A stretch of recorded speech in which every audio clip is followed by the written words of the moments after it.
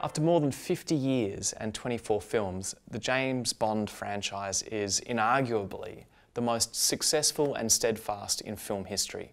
Based on a canon of novels by journalist and World War II intelligence officer Ian Fleming, Bond was already a household name in the United Kingdom a decade before reaching the silver screen but it was Sean Connery's performance as a souped up version of Fleming's iconic super spy that turned 007 into one of the UK's largest cultural exports, on par with Doctor Who and the Beatles. Bond films became style and design forecasts, dictating everything from fashion and gadgetry to preferences on interior design, drinks, cars, and firearms around the world. And it's with this lens, Bond as a design icon, that we look to the franchise for cues on aspects of dynamic media design. So in these lectures, we'll overlook the sexist, classist and often racist overtones of the Bond world and focus on the thin veneer of two famous visual Bond hallmarks not of Ian Fleming's origin. These are the Bond barrel sequence in which white dots animate in stop frame fashion across the screen to become a gun barrel aimed at 007 and the main title sequence, a sovereign piece of graphic real estate nestled into every Bond film, usually around 15 minutes into the first act, at the conclusion of the traditional pre-title action sequence. In broad terms, Bond sequences can be defined as a strong visual statement accompanied by a high-profile pop ballad, both bordering on total excess. Technology for art's sake has also played an important role over the years. And in some cases, it's evidenced in the construction from optical film compositing, in-camera effects and stop-frame animation in the 1960s to experimental CGI and digital compositing, motion capture and motion control in recent years, and likely an untold number of late-night innovations throughout. But technology has also found its way to the foreground and as an aesthetic in the Bond title sequences. Lasers, projections, science-grade high-speed and close-up photography, and an array of optical tricks have all made prominent cameos over the years. It's been the role of the sequence's main directors, Maurice Binder, Robert Brownjohn and Daniel Kleinman, to balance these concerns with their own interpretation of the film and the Bond legacy and to shepherd the tradition intact through successive eras. I'd also point you to the odd man out here, MK12's sole title sequence for the Bond series with Quantum of Solace in 2008, which seems out of place with the other sequences, and so we kind of make short shrift of it in this lecture. These three main designers, Binder, Brownjohn Kleinman, also provide a bridge for us that spans changing motion graphic considerations over three decades. So in a way, the Bond films are a great mirror to broader shifts in the world of dynamic media design. Just as the Bond films have had a significant impact on culture at large over the years, so too have their title sequences affected the landscape of graphic and title design in the latter half of the century and onwards, due in equal measure to the creative and technical contributions of its directors and a savvy and supportive production backbone willing to take box office risks to protect their integrity.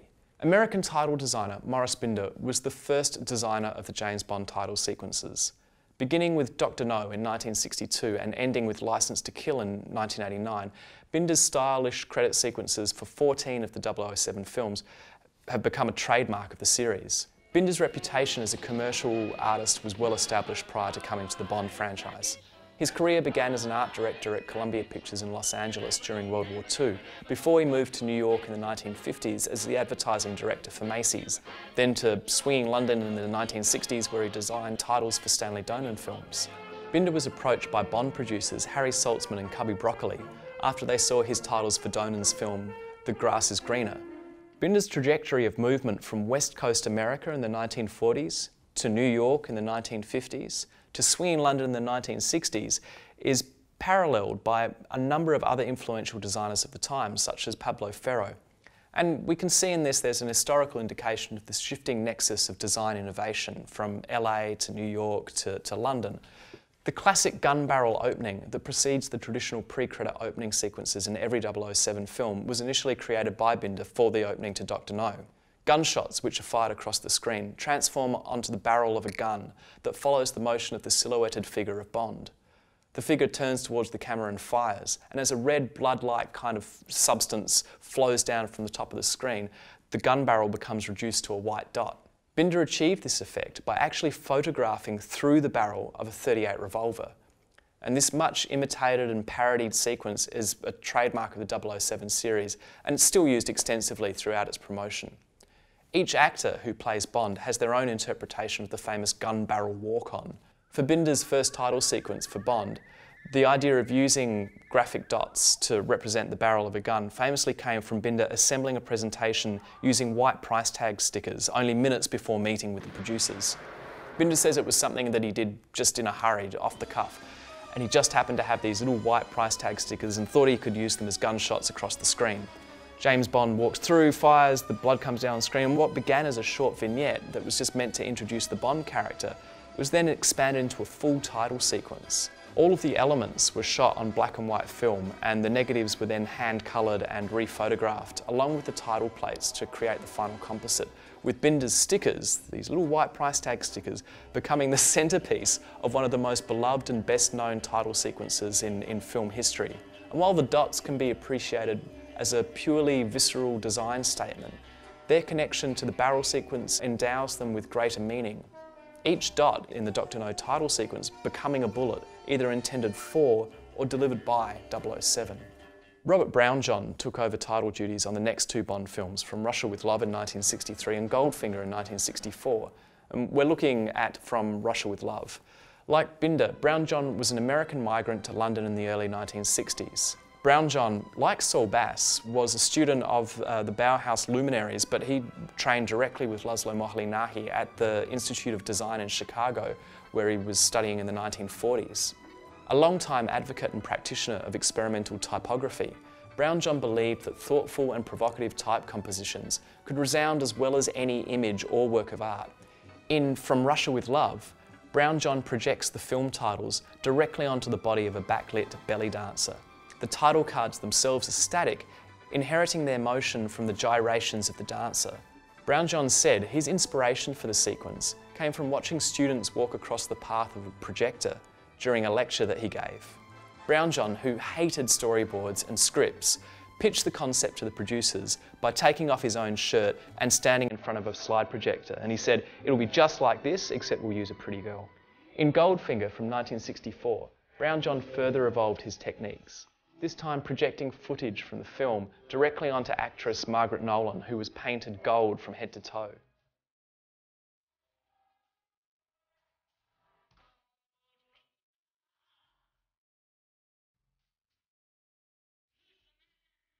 Brownjohn's projected film is matched to the curves of the actress Nolan. Brownjohn's using the female form as a double landscape on which to graft and recontextualize the projected images.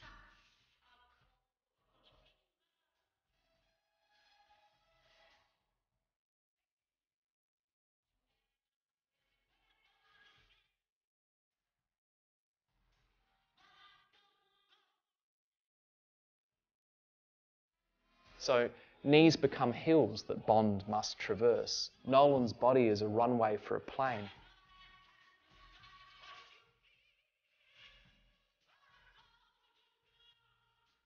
The grille of Bond's Aston Martin masks her face. Her lips are replaced by the ever switching decoy license plate of the Aston Martin. And the length of torso is a road along which cars race.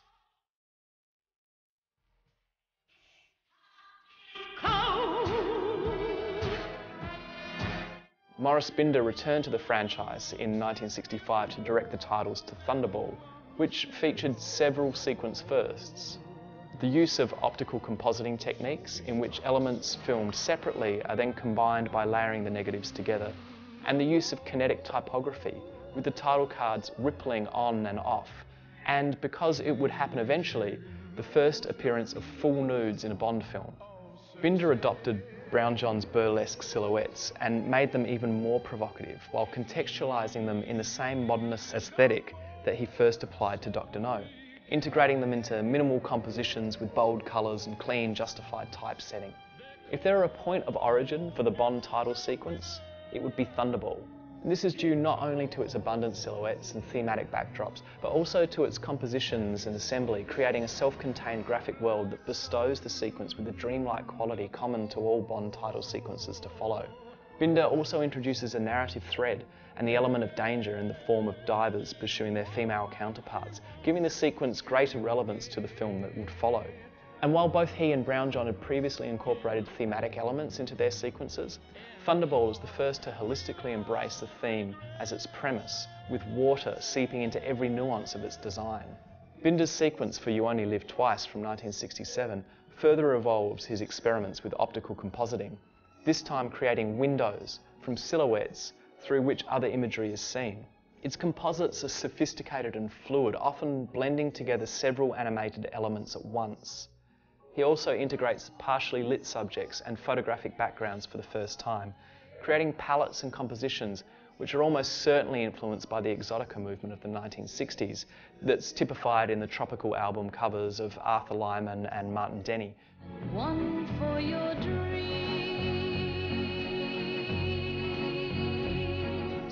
So to leap through a few key Binder titles and to get a sense of how the sequences evolved over time, we'll look next at Live and Let Die from 1973 perhaps Binder's boldest sequence and still the most aggressive entry in the franchise, mixing blatant nudity and dramatic lighting with plenty of fire, seen mostly through the eyes of a burning skull. Hard edits and crowded compositions work in concert with Paul McCartney's iconic theme song, matching its frantic pacing at the onset with fast action set against red and oranges, then cooling to a palette of blue sparks and smoke as the track slows and returning again to warmer hues as the sequence closes in the hands of a woman.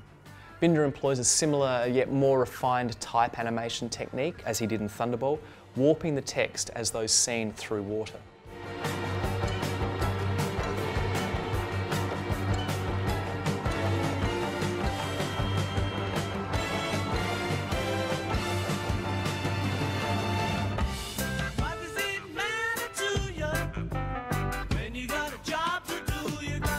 Binder met head-on with the mid-1980s in the sequence for A View to a Kill in 1985. He matches Duran Duran's high-energy pop theme with an equally loud palette of neon paint applied to guns and women and filmed under blacklight. Binder's trademark silhouettes are present but subdued, taking a back seat to cross-dissolved vignettes of fire, ice and neon psychedelia. Ever the tongue-in-cheek provocateur, Binder opens the sequence with a woman unzipping her jacket to reveal a hidden 007 logo painted between her breasts, with Ian Fleming's James Bond superimposed, a composition as iconic and as relevant as any of his best efforts. Binder, who once summarised his Bond titles as girls, guns, smoke and steam, would often inject micro-trends into his sequences. These are recurring elements that would find their way into several of his titles and then vanish. Silhouetted hands to introduce or close the sequence, images and type distorted through water, close-ups of eyes, the official 007 logo as key art, and also recycling iconic footage.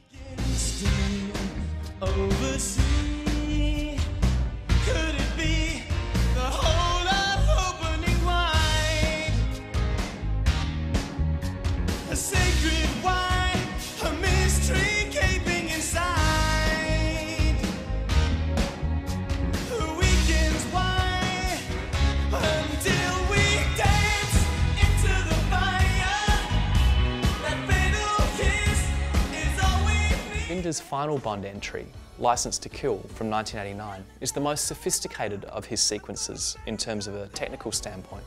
He returns again to many of his favourite themes, but with a much cleaner and more refined execution.